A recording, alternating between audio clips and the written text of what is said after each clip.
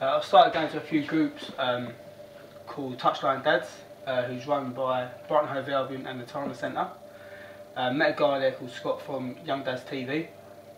Um, the group ended, um, and I just felt that I needed to start something for the other young dads uh, around Brighton Hove.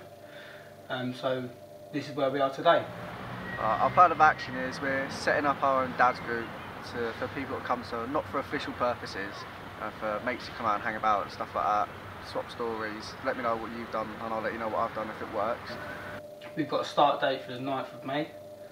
Uh, we have quite a few people interested, job centre, colleges, uh, stuff like that.